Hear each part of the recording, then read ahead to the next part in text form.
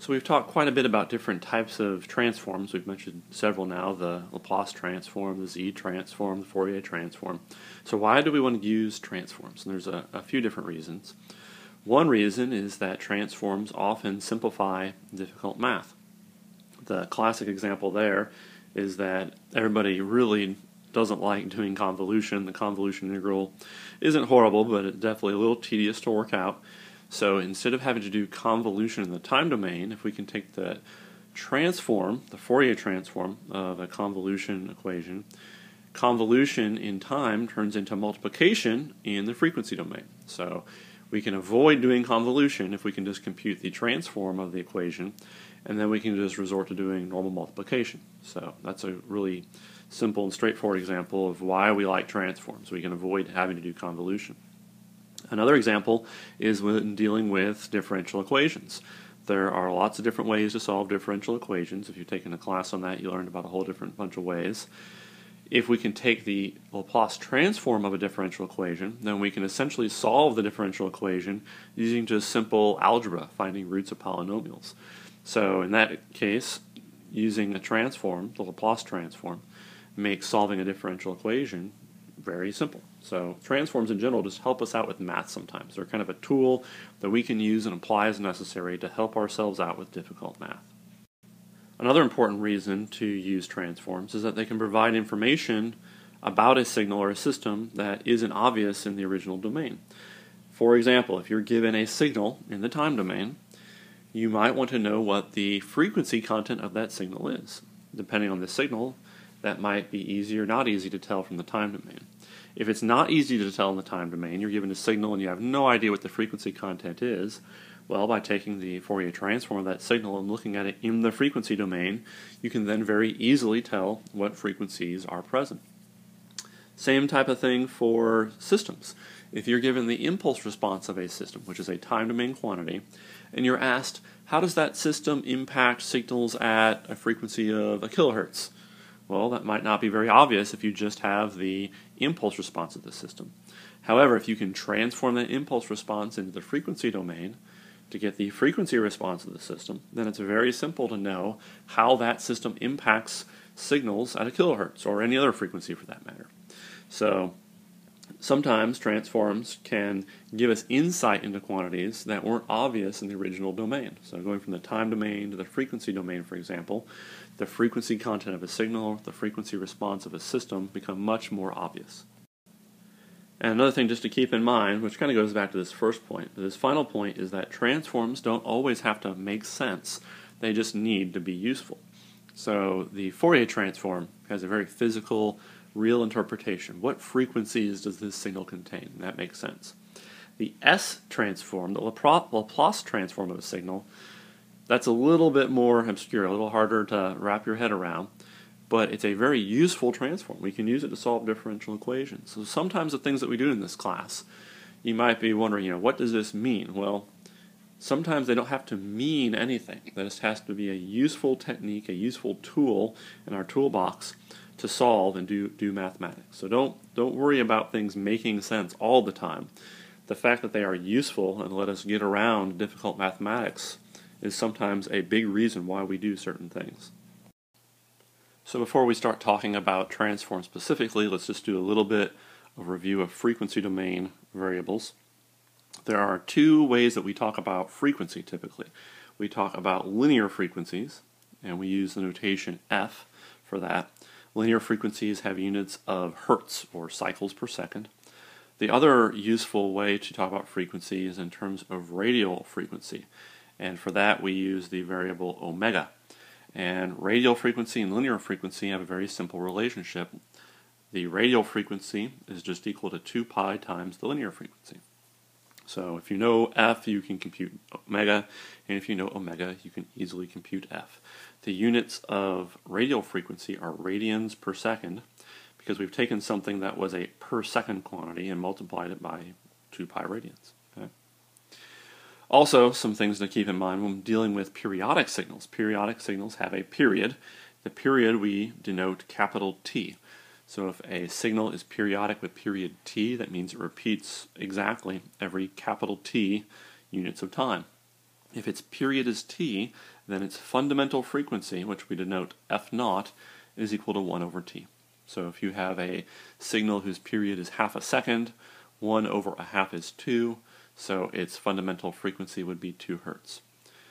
We can convert 2 hertz to radial frequency if we want. So we could compute omega naught is equal to 2 pi f naught, or if we want to replace f naught with what it's equal to, 1 over capital T, we can write the fundamental frequency in terms of radial frequency as 2 pi over T.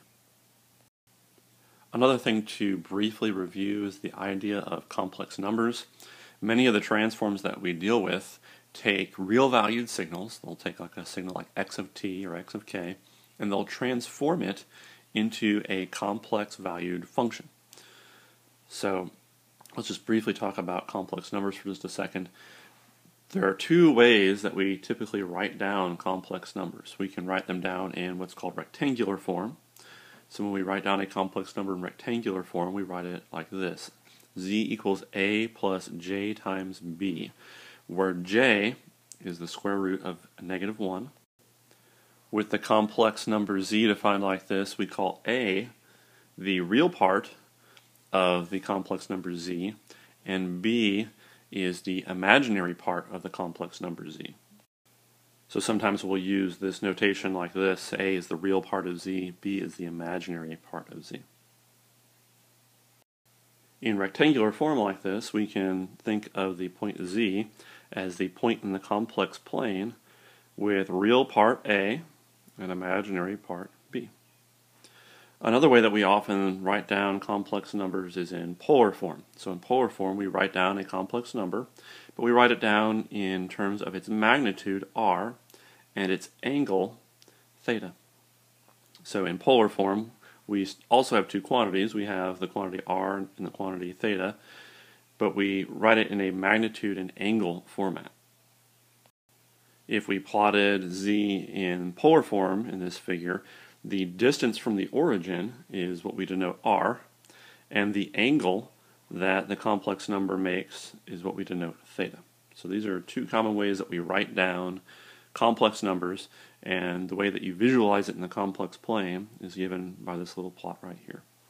We often take conjugates of complex numbers. All a conjugate does is change the sign of complex values. So if we take the conjugate of z, and z is in rectangular form, all we have to do is find the j's and change them to negative j's. And if there were any negative j's, we'd change them to positive j's. So all the conjugate operation does is flip the sign of the j's. We can do something very similar for the polar form. So the polar form, if we took the conjugate of z we would just find the j's and change the j to negative j. So we've taken the conjugate here in the polar form. Another thing we have to do often is take the magnitude of complex quantities. For instance, when we compute the Fourier transform of a signal and we want to look at its amplitude spectrum. The amplitude spectrum is the magnitude of the Fourier transform.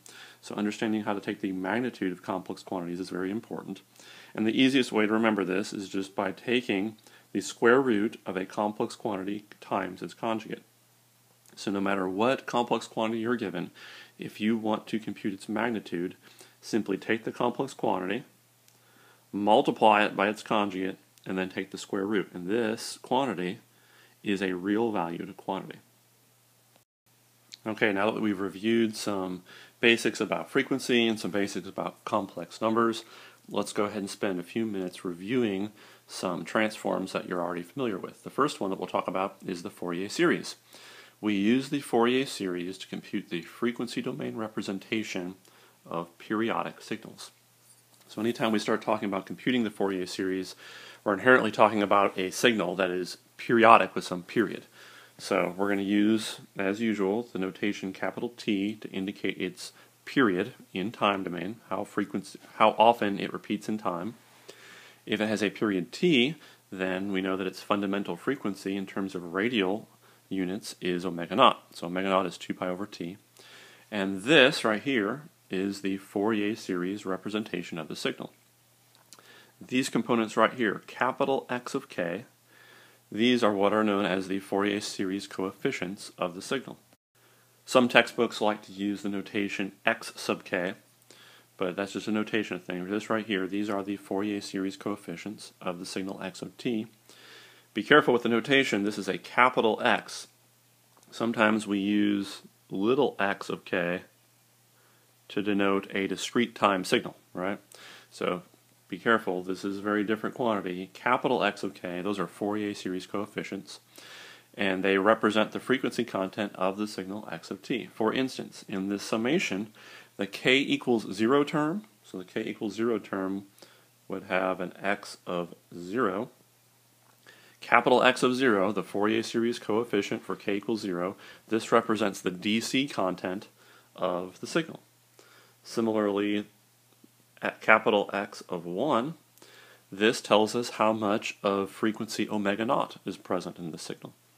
Capital X of 2 tells us how much frequency content at 2 omega naught the signal x of t has, and so on. So by being able to write down a time domain signal x of t in this format, the Fourier series coefficients tell us how much of each frequency 0 omega naught, 2 omega naught, 3 omega naught, etc., the signal has. So this is something we're, we're used to doing. We've learned how to compute the Fourier series coefficients previously. Once we have those, we know we can write down the signal x of t in this form, and we call this the Fourier series. In this class, we're going to study something very similar. The difference is we're not going to be finding the Fourier series representation of x of t. We're going to be finding the Fourier series representation of the discrete time signal x of k. When we compute the Fourier series representation of the discrete time and periodic signal x of k, we are going to call it the discrete time Fourier series. So previously we have learned how to compute the Fourier series of a signal. In this class we are going to learn how to compute the discrete time Fourier series of a signal. We now turn our attention to the Fourier transform. We use the Fourier transform to find the frequency domain representation of non-periodic signals x of t. So if we're dealing with a continuous time signal x of t that's not periodic, we can compute the Fourier transform of the signal using this equation. So these equations right here are very, very similar. This is capital X of omega, this is capital X of f.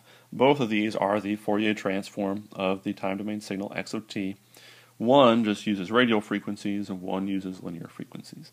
I tend to use this one a little bit more when I write things down, but uh, they're totally equivalent. So the Fourier transform x of f is equal to the integral from minus infinity to infinity x of t e to the minus j 2 pi f t dt. This is the Fourier transform of the signal x of t. And again, this is something that you spend a lot of time working with in previous classes how to compute it both from this formal definition of the Fourier transform and also once you got good at that by using Fourier transform tables. You could be given a signal x of t and you go look up in a table or use properties of Fourier transform to figure out what x of f or equivalently x of omega was. We're going to do something very similar in this class for discrete time signals. If I'm working with the discrete time signal x of k that is non-periodic, then I can compute the discrete time Fourier transform of the signal. So we now have kind of two new transforms that we've mentioned. The discrete time Fourier series, which is what we'll use to compute the frequency domain representation of periodic discrete time signals and also the discrete time Fourier transform, which we'll use to compute the frequency domain representation of non-periodic discrete time signals. Finally, let's talk about the Laplace transform. So again, the Laplace transform is something we use to analyze continuous time signals x of t. And the definition of the Laplace transform was this equation right here x of s, so x of s is the Laplace transform of x of t, is equal to this integral expression right here. S is equal to sigma plus j omega. And by looking at this equation, we can see that the Laplace transform is really just a more general transform than the Fourier transform. Specifically, if sigma is equal to 0, then S is just equal to j omega. So just plug sigma equals 0 in here, and we see that S is equal to j omega. Then this integral reduces to this. The integral from minus infinity to infinity of x of t e to the minus j omega dt. But now what is this right here? That is simply the Fourier transform of the signal x of omega. So as a special case of the Laplace transform, that special case being the case when we set sigma equals to zero, we actually get the Fourier transform out of this equation.